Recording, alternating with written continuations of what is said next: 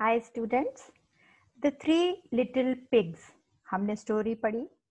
आइए, अब हम पेज नाइन पे चलते हैं, जहाँ पे स्टोरी के न्यू वर्ड्स हैं। ठीक है? We will learn the new words from the story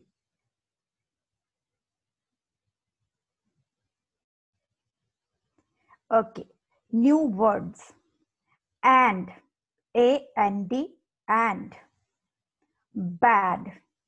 B a d bad. Big.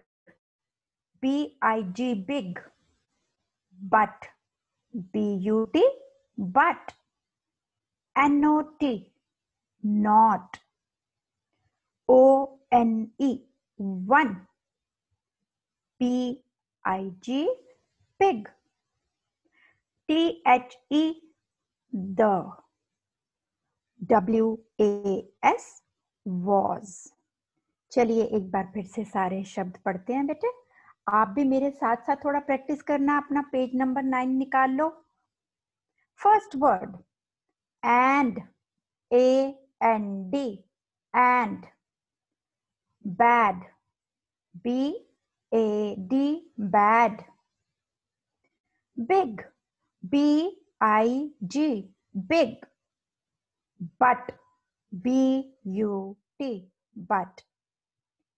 N o t not. Next word is one o n e one. Next word pig p i g pig. The t h e the. Was W A S was.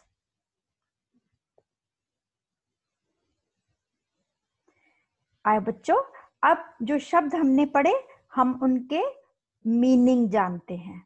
शब्द, अर्थ word meaning सबसे पहला शब्द and मेरे साथ साथ बोलो आप भी and A N D and and का अर्थ होता है तथा या और।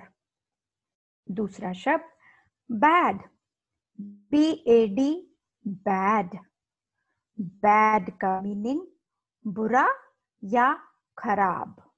ये बुरा बच्चा है या खाना खराब हो गया। तो दोनों का जो वर्ड है English word is bad third word big B I G big big का मतलब बड़ा बड़ा, हमने देखा हुआ एक बड़ी चीज़ होती है, एक छोटी चीज़ होती है।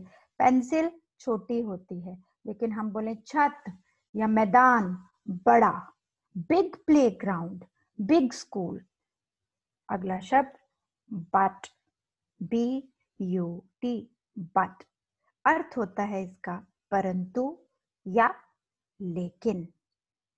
अगर मैं आप, आपको एग्ज़ाम्पल में समझाऊं छोटी सी तो I eat cold food but I can not eat very hot food ठीक है? मैं गरम खाना खाता हूँ लेकिन ठंडा खाना नहीं खा सकता। Next word not N O T not not का मतलब ना या नहीं। आइए बेटा एक बार फिर से ये वर्ड्स की रिवीजन करते हैं एंड तथा या और बैड बुरा या खराब बिग बड़ा बट परंतु या लेकिन नॉट नहीं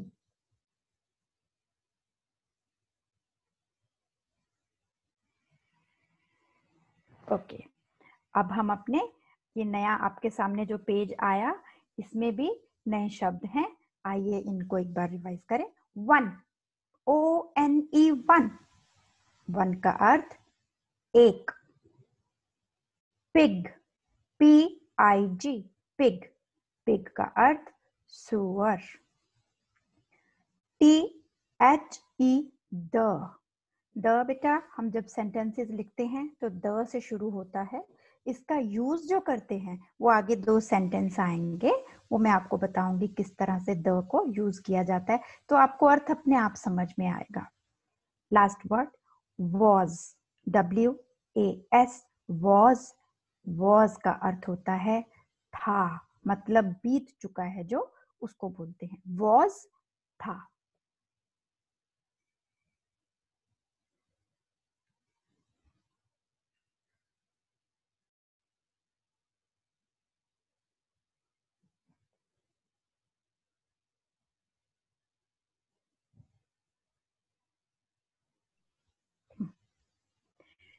आइए, ये आपकी बुक के पेज नाइन पे दो सेंटेंसेस हैं बेटा। जो वर्ड्स हमने अभी तक ऊपर सीख लिए, वो सारे वर्ड्स इसमें ज़्यादातर हैं, ठीक है? हम इनकी प्रैक्टिस करते हैं। इसको बोलेंगे हम रीडिंग प्रैक्टिस पढ़ने का अभ्यास करेंगे, ठीक है? चलो, मैं पढ़ती हूँ, फिर आप मेरे पीछे पीछे पढ़ना, ठीक है? मैं दो बार पढ़ूँगी पहले। The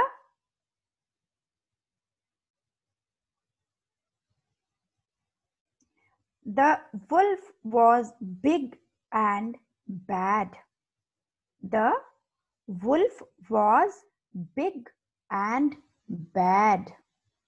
जो भेड़िया था, वो बड़ा था और बुरा था एक बार फिर से the wolf was big and bad अब आप मेरे पीछे पढ़ो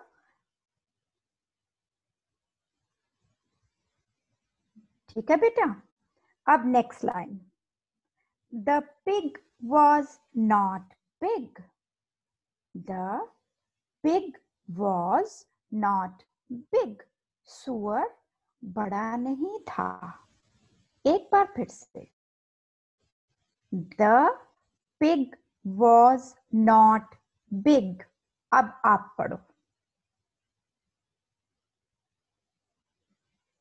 ठीक है बच्चे? अब मैं दोनों सेंटेंस एक बार फिर से पढ़ती हूँ। उसके बाद आप तीन तीन बार पढ़ के पॉज करके इसको समझना और बार बार रीड करेंगे, ठीक है?